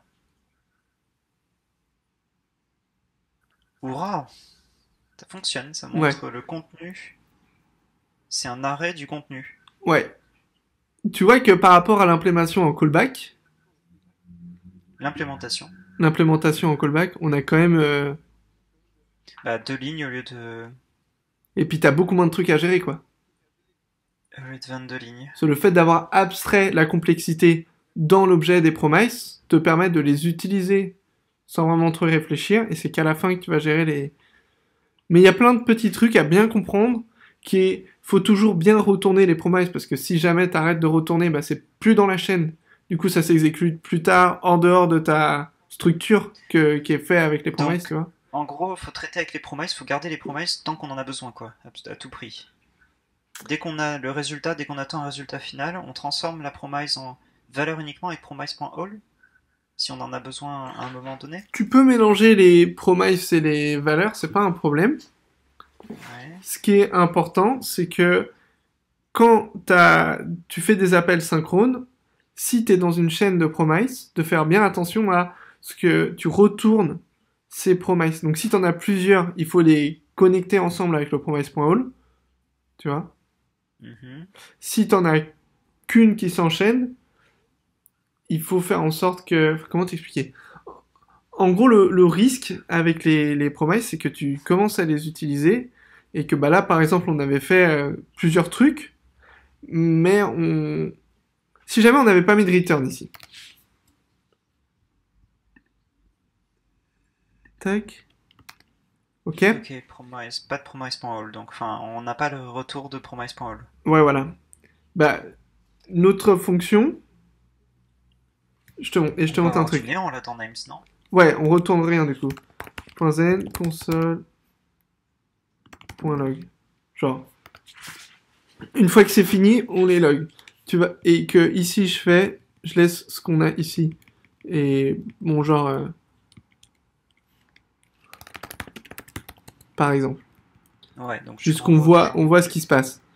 On va, je vais enlever euh, ce console log là parce qu'il me perturbe, mais c'est pas important. Hop. on réexécute. Tu réexécutes ça, voir ce qui se passe. Et du coup, là, tu vois qu'on a d'abord log names, et après, on a log les valeurs, ce qui est logique. Mais dans la façon dont notre code est, peut-être que si t'as pas fait gaffe, t'es un peu étourdi, que t'as oublié le return, tu vois. Tu t'attendrais à ce que tes promises euh, ici que ton zen, comme, comme t'appelles ta grosse fonction plus grosse, aurait attendu que promise.all soit terminé. Mais en fait, vu que t'as pas return, il l'a pas attendu. D'accord. Tu vois? Ce promise.all te retourne une nouvelle promesse qui attend que toutes les autres promesses soient finies. C'est ce qu'il fait. Oui, oui, oui, je comprends. En fait, promet... Enfin, je crois comprendre. Essaye de, essaye de recoder ton promise.all toi-même. Merde. T'es sûr? Ouais, carrément. Parce qu'en... Il reçoit ici. Un promise arrêt. Ok. Il retourne, je te, le- je te le prépare un peu, une nouvelle promise. Mhm. Donc avec euh, success, failure. Et euh, là, il faut que tu fasses le truc. Euh... J'en sais rien. Alors, promise. Point... Il faut, arrêt. il faut que tu vérifies que tes promesses, c'est toutes fini. Dès que tu as une erreur dans une promesse, il faut que tu rejectes. Et alors attends, pour vérifier qu'elle est finie, j'utilise promise.all toujours, non? Je- Est-ce que j'ai un autre moyen de vérifier qu'une promise est finie sans... Zen catch. C'est tout. Ah, mais oui, oh, j'avais oublié que oui, est associé à une promise, hein, ok. Euh, mais alors du coup, je vais faire quoi? Un for each Là, tu peux faire un for each, ouais. Mais. Ok, ouais. for Ouais, si, si. each. Pour chaque élément du tableau, je vais faire un lm.zen. Ouais. Euh... Success à ce moment-là? Non. Ah non, tu veux pas retourner le Non. premier qui retourne, tu veux accumuler les succès si t'en as. Oui. Donc il faut que tu fasses. Ah, c'est plus un reduce, non? Non, enfin. Non. Tu pourrais avec un reduce peut-être le faire plus proprement. Je sais pas. C'est pas très important, tu peux le faire avec un for. euh. Je m'en fiche. Mais il me faut une variable du coup, peut-être? Je suis pas sûr de comprendre ce que doit... Attends, attends, attends, deux secondes. J'ai un arrêt de promise. Je peux savoir qu'une promesse est effectuée quand il y a eu le point zen qui est lancé, c'est ça? Euh, ouais. Ah, mais dans ce cas, j'ai rien à faire en fait, le zen ne fait rien. Mais si, parce qu'il faut quand même promise.all qui retourne les valeurs de toutes les promesses. Ah, donc il faut que je stocke le, le contenu alors? Dans un nouvel arrêt, ouais. Alors c'est map qu'il faut que je fasse. Mais map, Non. ça va pas marcher parce que t'es pas. obligé de le réimplémenter toi-même Donc il faut que j'ai une variable finalement. Ouais, faut que tu crées un arrêt de ton résultat. Euh, C'est un ouais. constant. hein. Résulte. T'as mis quoi? Ouais, Let c'est- égale résulte. C'est quoi cette affaire? Oh là. Euh, let résulte. Ouais. C'est un arrêt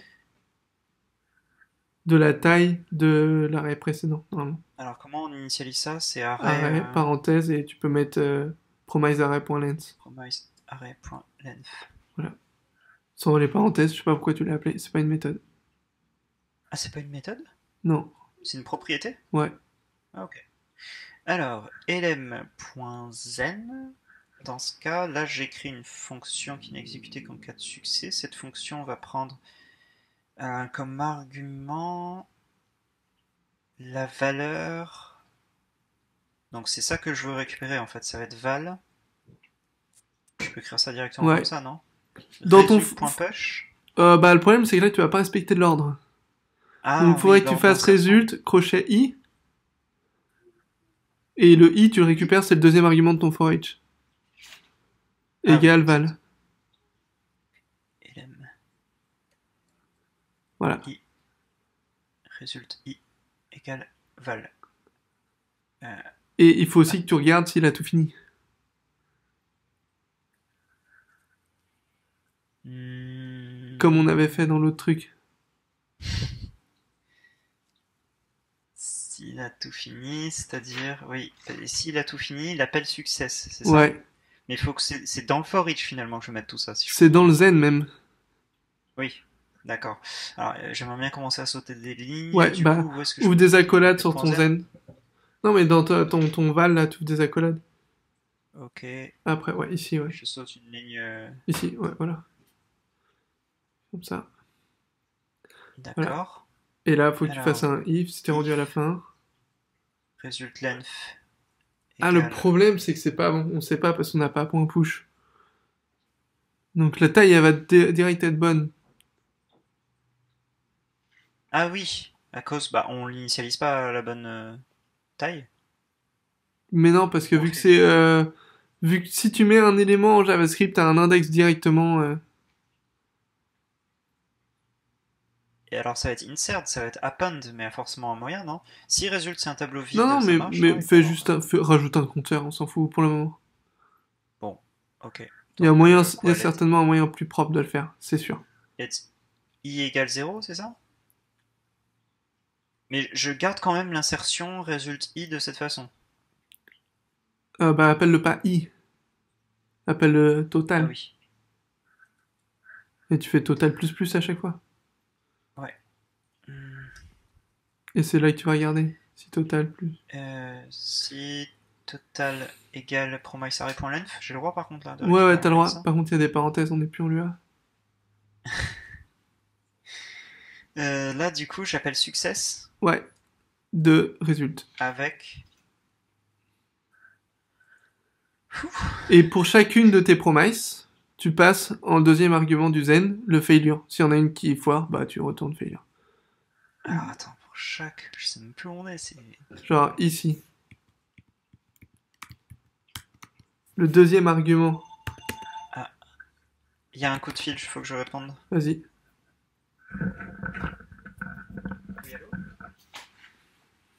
Et ça fait des chocs à pic. Donc, là, l'idée, c'est dans le. le promise.all marche, tu vois, là. On t'a compris un peu tout ce qu'on a fait. Et... J'ai juste Ouais. remplacé euh, promise.all par juste notre all qui est notre fonction à quoi. Et du coup, là, c'est encore une fois, c'est un truc qui permet d'abstraire le fait d'avoir besoin de retenir où t'en es, de vérifier qu'elles ont toutes été finies, de récupérer les résultats. C'est super pratique. Mhm. Donc, Donc ça fait un for each. Attends, j'essaie juste de me rappeler vraiment de comment ça marche. Ça recrée, euh, ça met les valeurs à chaque fois que chaque promise est, est appelée finalement. ouais, pour chacune ch- des chaque promises, est réussie plutôt. Il met sa... Le résultat. Ce sera pas d'ailleurs forcément dans l'ordre. Si, ce sera forcément dans l'ordre parce que le i, il utilise le, le i du for each, donc le i Ah de oui, son index de sa position. Non, si, oui, Ah. forcément dans l'ordre. Mais, Mais elles vont pas dire, c'est être mises-. Ouais, elles vont pas être exécutées, dans- elles sont exécutées en parallèle. Donc euh, la première, reste qui est- asynchrone. et c'est pour ça qu'on est obligé de vérifier à chaque fois est-ce qu'on n'est pas arrivé à la fin, parce que ça peut être le premier élément de ton tableau qui termine en dernier.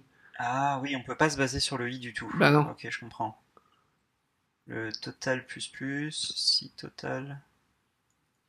Mhm. Dans ce cas-là, il appelle success du résultat. résultat. Et alors le virgule failure, d'où il sort lui? Bah en fait c'est le thèse, le, le... Dans tous les cas, si on a une erreur, Ah oui, si jamais il y a eu une erreur, Voilà. dans ce cas-là, ça appelle, ça appelle failure non? Qu'est-ce Ça qui se passe app- avec ce virgule failure? Ça va appeler failure, ouais. On le fait passer juste.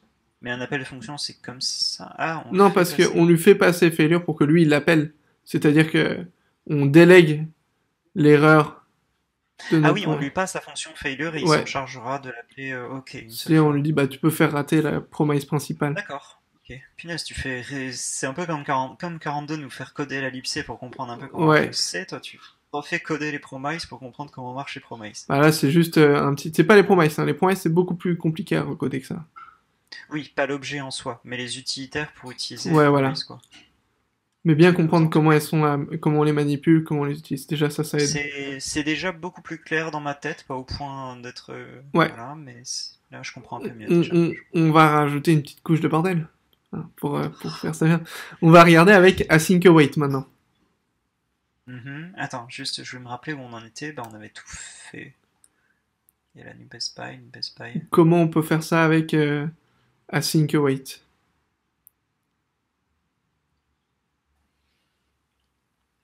Et alors, du coup, le, le... Attends, juste, j'aimerais juste être sûr. L'asynchrone, c'est pas forcément toujours mieux. Dans, tous les... dans certains cas, le synchrone, c'est bien, non?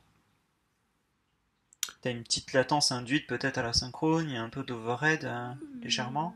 Bah, t'as un overhead à la synchrone. La synchrone, c'est surtout utile quand il y a beaucoup, beaucoup, beaucoup de traitements, de Non, fichiers ou de en, en JavaScript, la synchrone, c'est quasiment 90% du temps mieux. Les seules fois où tu vas pas utiliser de la synchrone en JS, c'est si c'était des trucs pour initialiser, par exemple, tu as besoin qu'ils se fassent au lancement de ton application, qui vont se faire qu'une fois, et qui vont pas être appelés après. Voilà, tu peux mettre du synchrone, parce que c'est plutôt pratique que ça soit bloquant, parce que c'est un moment où ton application s'initialise. Par exemple, Oui. comme on avait Par fait exemple, dans ton blog, créer le, créer chose, le- tu que ce Ouais, Voilà, genre la création du dossier dans le, dans, dans le blog des, de dossiers des articles. Ça pourrait quand même se faire en, avec des promises, ça, non? Mais, mais t'as aucun intérêt parce que tu, tu t'es obligé du coup de, de tout mettre dans des, dans des callbacks, enfin dans du zen, alors que tu peux avoir ça en direct comme ça parce que. En bloquant, en synchrone. Voilà. Ok, je vois. Donc comment, en fait, async await, c'est un moyen de mettre en pause une fonction. C'est un nouveau truc de JavaScript qui te permet de mettre en pause une fonction en attendant le retour d'une promise. Donc ça marche que avec les Est-ce que promises. c'est pas l'équivalent d'un point zen? C'est exactement un point zen. Enfin, c'est comme si tu lui disais. un point. Genre, tu me l'exécutes comme si c'était synchrone. Donc pour toi, c'est de manière transparente, c'est synchrone. Si tu veux récupérer, l'erreur. il faut que tu le mettes dans un try-catch, parce que l'erreur, elle va se trop haut. Euh, Est-ce qu'on peut pas faire un petit exemple là? On va exactement faire un exemple. On va recoder content.all, euh, read dire content new best by, on va en faire une nouvelle version en, euh, Avec async await avec async await. Euh, D'accord, donc là c'était la déclaration, l'appel. Donc l'appel, Ouais. je vais le choc. On va. Du coup, on avait redir contents au-dessus, la grosse dégueulasse. Ici, on a celle avec des points zen, et là, on va en faire une nouvelle. Redir content new best by, ça veut dire. Async await AA, Ok, je sais pas comment appeler. ça fait un peu alcoolique anonyme, mais d'accord. Donc il faut commencer. Alors on a introduit un nouveau mot-clé ici, qui est async, qui dit cette au fonction. des arguments Cette fonction, c'est avant, c'est avant la déclaration de ta fonction. C'est le premier truc que tu mets. Euh, pas tout à fait d'accord, parce que là, tu peux avoir une liste de plusieurs arguments, on est d'accord. Oui, Donc, je veux dire, dans la déclaration, quand tu fais une fonction fléchée, ça se met après le égal, donc ça se met un peu dans le champ des arguments. ça se met avant les arguments. Tu peux avoir, là, quoi. tu peux avoir. tu- je sais qu'il faut pas le faire, mais si on écrit une fonction comme ça, si, Si, on si, déclare tu une fonction peux, en JavaScript, Bah, je crois qu'il faut faire fonction, d'abord fonction, peut-être async fonction, je sais même pas. Ok, C'est juste pour savoir l'un ou l'autre. Je le fais jamais. Donc, async dire, je te laisse continuer. Voilà, donc là tu ouvres tes crochets, normal. Euh, on a du joli. Donc euh, là tu peux mettre await parce que read dire c'est read dire c'est une euh, promesse, donc tu peux faire const names égale uh-huh. await. Alors, await Ouais, donc c'est là on dit tu as, tu poses en attendant le retour de cette promesse et là on lui dit read dire. Non non non non, C'est un- c'est c'est c'est un Pas de- mot clé. ok. Genre juste await Oh, espace read dire dire Euh, Donc le PAF c'est dire, ouais. option UTF-8. Voilà. Donc voilà, ensuite, on a nos noms. Genre, tu peux continuer ta fonction, voilà, c'est comme ça, normal. Euh, et j'en fais quoi déjà de tout ça? Je dois l'ouvrir avec readfile. Ouais. Et là, du coup, tu peux faire un for each? Genre, for. euh, faut, vaut mieux. Non, vu que c'est bloquant, vaut mieux faire un for off dans ce cas. Genre, for. D'accord, for name, euh, for Faut name mettre des parenthèses. C'est ça. Mais let. Ouais. Alors, hop, let, Let name of name names. of names. Et là, tu vas pouvoir faire un. Les push dans un arrêt. Euh, Ouais, c'est ce que je me disais, il nous faut un résultat encore. ouais. Si on peut pas faire un map. Ouais, vu qu'on n'avait pas déjà.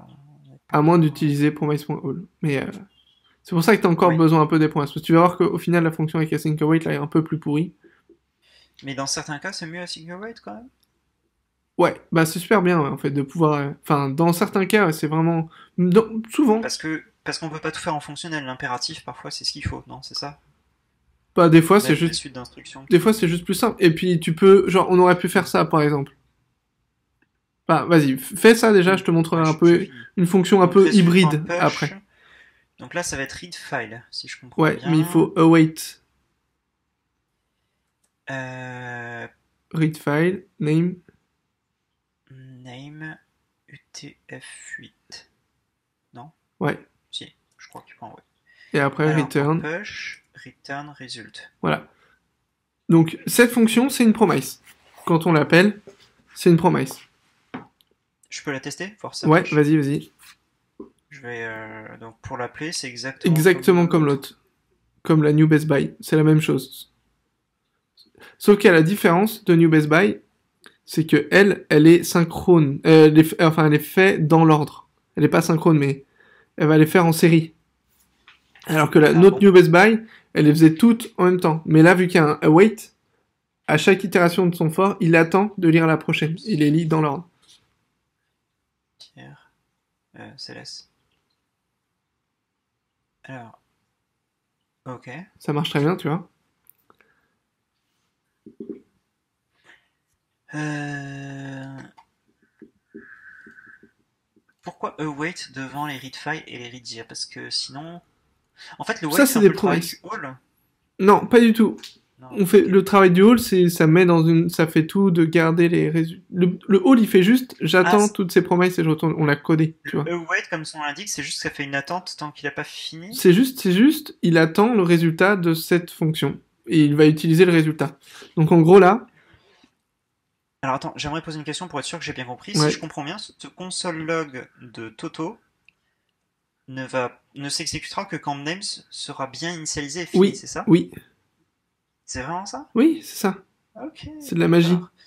Donc c'est un peu, c'est re- rendre, rendre euh, synchrone le JavaScript à certains endroits. en C'est ça. Enfin, c'est lui donner l'impression d'être synchrone. Mais tu vois, donc c'est Ah. pour ça que ça les fait en série parce que du coup, il fait une pause de la fonction à chaque fois. À chaque fois. Donc Hmm. il va lire les noms à En la plus, suite. L'insertion va être dans l'ordre euh, du read. euh, Du coup, c'est pour ça que ça marche et qu'on a l'insertion dans le bon ordre. Donc tu vois que c'est vachement simple pour certains trucs quand même. mhm. Si on veut faire un- un- une, ac- une action en série, c'est plus simple de le faire avec un await qu'avec des promesses. Bon, moi, ce que j'aurais fait, je pense, pour ça, c'est j'aurais fait peut-être un petit hybride. Je te montre juste comment tu peux mettre des petits await et Ouais. faire, euh, faire ça. Utiliser les deux pour être dans un monde où t'es heureux. Ce- si tu connais que l'un, c'est pas terrible. Mais genre, on peut mettre ici Donc async. async. Alors, petite question, l'async, il faut le mettre pour autoriser le await dans le code, c'est ça? C'est pour signaler à JavaScript qu'on va utiliser du await? Euh, Pourquoi il y a async en fait? La fonction est async, ça, ça change son comportement quand on l'appelle, c'est pour per- la- permettre l'utilisation d'un await? Hmm, Je vais te laisser peut-être finir. ouais, je finis juste mon code.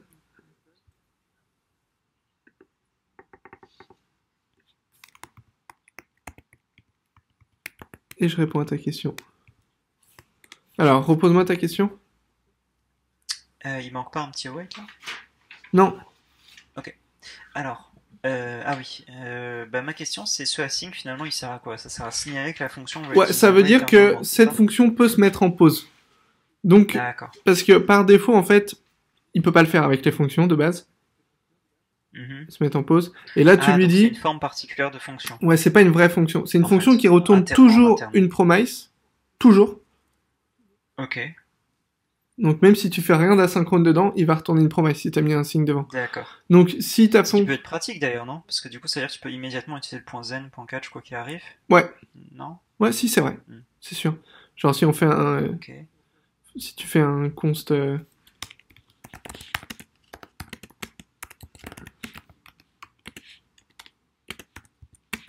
flèche.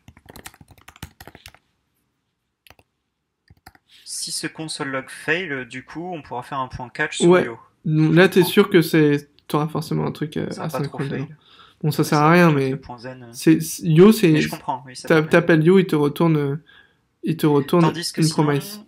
sinon, Si aurait on enlève la sync- promise avec new. Si on enlève un sync, on n'aurait pas eu de promesse. Sinon, t'es obligé d'écrire new... Ouais, pas, pas vraiment, en fait, parce que tu réutilises la promesse qui est déjà créée. Oui, et si jamais tu utilises rien qui crée de promise, c'est-à-dire que tu fais du code euh, toi-même, Bah, il faut le pas, il Tu faut pas le mettre en, il faut pas le mettre en promise, du coup, c'est-à-dire que tu fais du code synchrone. Comment ça? Non, tu peux vouloir faire du code asynchrone, non? Déclarer une nouvelle Alors, fonction asynchrone. Oui, si tu utilises par exemple euh, bah, une API qui est pas en promise et que tu veux, mais dans ce cas, c'est à toi de la promisifier. Oui. Et après, tu peux utiliser await dessus, mais tu peux pas utiliser await sur les callbacks. D'accord. Ça marche que avec les promises. Si t'as pas bien compris les promises, en fait, await c'est un peu mystique pour toi, parce que ça fait de la magie. Ok, donc oui. Après await, il y a forcément une fonction qui renvoie une promise. C'est ça. Les fonctions async sont des fonctions qui retournent des promises, elles utilisent des promises. Et async await utilise aussi des promises, renvoie des promises et prend Voilà. des promises. Donc là, tu vois, ça a permis de d'éviter un point zen, en fait, le await. Euh, alors attends, je- j'essaie de comparer, de regarder. On a le toujours le dire. Alors là, il fait un. Ah, il y a quand même un all qui prend tout du coup. qui- Tout le résultat. Donc en gros, je fais une attente T'as sur le un- premier. J'attends qu'il me retourne mes files. Quand il a fini le redir, tu fais directement un map dessus. Et du coup, une fois, parce que cette attente, je suis obligé de la faire. Ah oui. Et cette map-là, je la wrap dans le retourne dans le promise. Et si je retourne une promise dans une fonction async, c'est comme si j'avais retourné la valeur. Si j'écris ici await de, de ma, mon promise.all ou pas, Hmm. ça change rien vu que c'est le dernier. Ok. Tu comprends pourquoi? Euh, ça change rien vu que c'est le dernier. Euh, ça change pas le... ce qu'elle retourne la fonction. Bah en fait, dans tous les cas, il va attendre.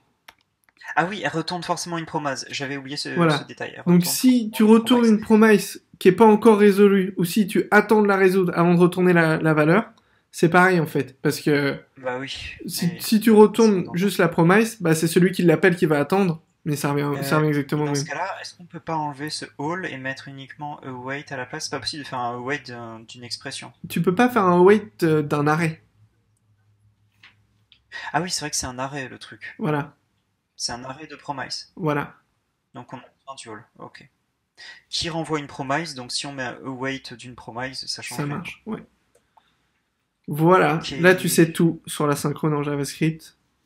Tout? Vraiment tout? Non, non, parce qu'il y a aussi euh, les streams, les events.